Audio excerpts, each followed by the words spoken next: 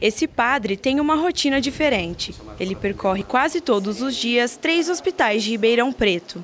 Eu começo 8 horas da manhã e às vezes acabo esses atendimentos é, 6 horas da tarde, né? E vou intercalando entre um e o outro hospital. Então eu estou aqui no campus, aí dá três horas, é, depois que eu fiz o atendimento aqui, eu já estou no São Francisco, já aproveito e já estou do lado, já tô, fico na unidade de emergência. O padre Josirley integra uma das equipes de cuidados paliativos do Hospital das Clínicas de Ribeirão Preto.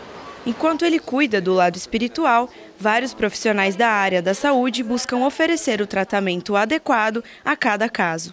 Os cuidados paliativos é uma forma, uma abordagem aos pacientes portadores de doenças crônicas, degenerativas, que têm uma possibilidade de vir a óbito e que a gente tenta focar na melhora da qualidade de vida, independente da possibilidade de cura ou não.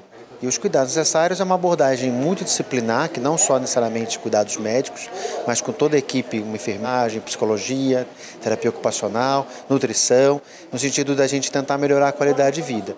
E é pensando nessa qualidade de vida que, além de todo o suporte na área da saúde, o tratamento também oferece apoio espiritual, respeitando a religião de cada paciente.